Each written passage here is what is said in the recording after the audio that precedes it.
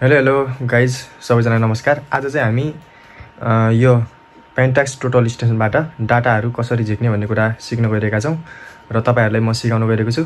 र तपाईँहरूलाई कतिपयजनाहरूलाई डाटा झिक्न आउँदैन होला र तपाईँ नआत्तिनुहोस् यो भिडियो हेरेर तपाईँहरूले डाटा झिक्न सक्नुहुनेछ भन्ने मैले पूर्ण आशाका साथ यो भिडियो बनाउने छु र तपाईँहरू भिडियो ध्यान दिएर हेर्नु होला। र सो ढिला नगरी हामीहरू मेसिनको स्क्रिनतर्फ जाउँ। सबभन्दा पहिला हामीले मेसिन पावर अन गर्ने र मेसिन पावर अन हुँदैछ। मेसिन ओपन भइसकेपछि डाइरेक्ट यस्तो देखाउँछ होइन? डिस्प्लेमा यस्तो देखाउँछ। त्यसपछि तपाईँहरू ट्याक्क हाम्रो यहाँनिर देख्नुहुन्छ यस फङ्सन देखिराख्नु भएको छ। यस फङ्सनमा इन्टर गर्नु होला वा यसमा इन क्लिक गर्नु होला यस फङ्सनमा जानु होला त्यसपछि हामी यहाँ थुप्रै फाइलहरू देख्न सक्छौँ। थुप्रै फोल्डरहरू देख्न सक्छौँ फङ्सनहरू देख्न सक्छौँ। फाइल बनाउने के के गर्ने छन् स्टेसन छ के के छ। तपाईँहरू यताउति नगएर यो सुरुभन्दा सेकेन्डमा छ त्यसमा गएर इन्टर गर्नु होला आई ड्यास जिरो लेखेको छ नभुल्नु होला है यसमा इन्टर गरेपछि त्यसपछि हाम्रो text file transfer USB communication यो आरएस ट्वेन्टी थ्री कम्युनिकेसन दे देखाइरहेछ तपाईँहरू फाइललाई ट्रान्सफर गर्नलाई सबैभन्दा पहिले टेक्स्ट फाइल ट्रान्सफरमा जानु होला त्यसपछि रियाक्ट डाटा टेक्स्ट राइटमा जानु होला यसमा अरू पनि चारवटा अप्सन छन्। त्यसमा नगएर तपाईँहरू वान नम्बरमा जानु होला र त्यसमा रियाक्ट डाटा टेक्स्ट टु राइटमा इन्टर गर्नु होला। त्यसपछि हाम्रो फर्मेट सेलेक्सन भन्ने चाहिँ फर्मेटमा हामीले जहिले पनि यहाँ चाहिँ फर्मेट सेलेक्सनमा चाहिँ सिएसपी राख्ने है सिएसपी नै इन्टर गर्ने। त्यसपछि तलपट्टि डाटा सेभ एन्ड प्लेस भनेको छ। यसमा यसमा चाहिँ हामीले अब एसटी कार्ड हालेछ भने एसटी कार्डमा गर्ने। अहिले चाहिँ हामी इन्टरनल यसमा केबल मार्फत झिक्नु भएकोले गर्दाखेरि अहिले हामी चाहिँ इन्टरनल नै राख्छौँ।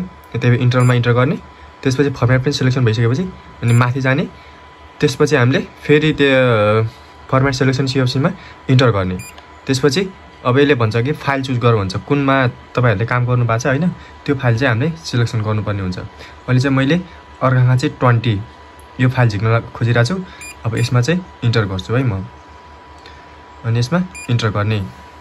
र यो जब नेम चाहिँ हाम्रो सिएससीमा चाहिँ कन्भर्ट हुँदैछ। अनि यो पोइन्ट नम्बरहरू जिरोदेखि स्टार्ट भएर हामीले एक सय पच्चिस छब्बिस हुँदै यो बढिरहेछ। एकछिन वेट गर्नु होला। अनि त्यसपछि यो कन्भर्ट भएर सकिन्छ। त्यसपछि हामी यसमा झिकेर देखाउनेछु। त्यसभन्दा अगाडि अ, तपाईँहरूलाई एउटा रिक्वेस्ट छ। तपाईँहरूले मेरो युट्युब च्यानल सब्सक्राइब गर्नुभएको छैन भने सब्सक्राइब गरेर साथ र सपोर्ट गरिदिनु हुनेछ भन्ने पूर्ण आशा राखेको छु। फाइनल्ली अहिले चाहिँ हाम्रो फाइल ट्रान्सफर वा त्यो जब नेम चाहिँ हाम्रो सिओसीमा चाहिँ कन्भर्ट भएर पनि सकिसकेको छ। देख्न सक्नुहुन्छ स्क्रिनमा कम्प्लिट र तलपट्टि ओके लेखिरहेछ। त्यसपछि तपाईँ यो फाइल ट्रान्सफर भएर यस्तो स्क्रिन देखाउँछ त्यसपछि तपाईँ ओके दाब गर्नु होला या फाइलमा दाब्नु होला वा इन्टर गर्नु होला होइन? ओके भएपछि अब हामीले चाहिँ यो कन्भर्ट त भयो अब यसलाई चाहिँ हामीले ल्यापटपमा झिक्नु पऱ्यो होइन? सो त्यसको लागि चाहिँ हामीले के गर्नु पऱ्यो भन्दाखेरि फेरि स्केप गर्नु होला स्केप गरेपछि तपाईँहरूले अब यो केबल चाहिँ यता पनि जोड्नु होला र उता ल्यापटपमा पनि जोड्नु होला यो त नर्मल कुरा नै भइहाल्यो होइन? यो केबल जोडिसकेपछि त्यसपछि यस स्केप पनि तपाईँले गरिसक्नु भएको छ होइन स्केप गरेपछि त्यसपछि यहाँ टेक्स्ट फाइल ट्रान्सफरको तलपट्टि हामीले युएसबी कम्युनिकेसन देख्न सक्नुहुन्छ है। ट्याक्क तपाईँहरू तल आएर तपाईँहरू युएसबी कम्युनिकेसनमा इन्टर गर्ने। त्यसपछि यो युएसबी इज रनिङ नाउ भनिरहेछ अनि यहाँ तल यतापट्टि कन् कनेक्टिङ भइसक्यो है। यो डाइरेक्ट डाइरेक्ट यस्तो देखाउँछ कुनै एप्स चाहिँदैन यसको लागि। त्यसपछि हामीले open folder to view file गर्ने ल्यापटपमा चाहिँ है। त्यो फाइल ओपन गरिसकेपछि त्यसपछि हाम्रो डाइरेक्ट यस्तो देखाउँछ। तपाईँ देख्न सक्नुहुन्छ। अर्काखा चाहिँ ट्वेन्टी भन्ने फाइल चाहिँ हाम्रो माइक्रोसफ्ट एक्सलमा चाहिँ कन्भर्ट भएर आइसकेको छ। र अरू फाइल पनि टोटल्ली सो गरेर छ तपाईँ देख्न सक्नुहुन्छ। रुकुमकोट एट्टिन भन्ने अनि त्यसपछि पेन्ट्याक्स भन्ने र अन्य फाइलहरू पनि हाम्रो सो गरिरहेछ हाम्रो यो पेन्ट्याक्स टोटल स्टेटमा भएको टोटल फाइलहरू हामीले यसमा सो गरेको देखिरहेछौँ। अरू चाहिँ सर्टकटमा देखिरहेछ भने अनि अर्का चाहिँ ट्वेन्टी चाहिँ माइक्रोसफ्ट एक्सलमा देखाइरहेछ यो चाहिँ एक्सल फाइलमा कन्भर्ट भएर आइसकेको छ। अब हामीले यस्तै ओपन पनि गर्न सक्छौँ है। ए यसरी ओपन गर्दाखेरि ट्याक्क हाम्रो एक्सेल फाइलमा ओपन भयो। सुरुमा हाम्रो नर्थिङ आइरहेछ त्यसपछि स्टिङ त्यसपछि जेड इएन जेडैको भ्यालु र रिमार्कहरू टोटली डाटा हाम्रो ओपन भयो। र यसरी चाहिँ हामीले डाटा चाहिँ झिक्न सक्छौँ भन्ने कुरा मैले तपाईँले सिकाएँ।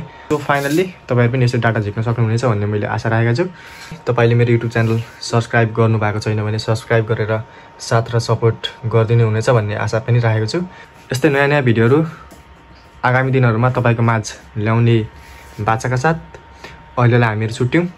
हस् त बाई आजको भिडियोमा यति नै।